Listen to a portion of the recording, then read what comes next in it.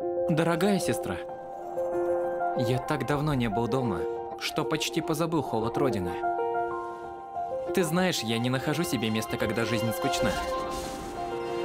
Но в Лиюэ повсюду кроются запалы веселья.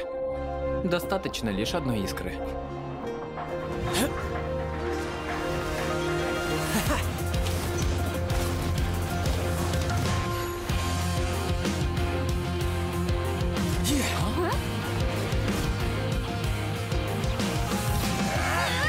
Все сразу!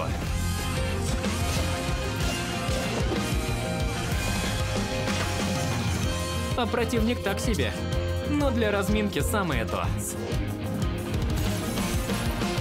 Вот и конец! Это шанс! Неужели?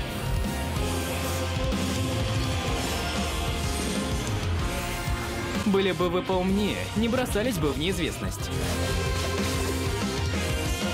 Победа будет легкой, но сдерживаться я не собираюсь. Твой брат на самом деле занимается здесь всякими пустяками. Но, Тоня, будь уверена. Будущее, которое желает царица, будущее, которое желает народ Снежный, поверь, оно наступит.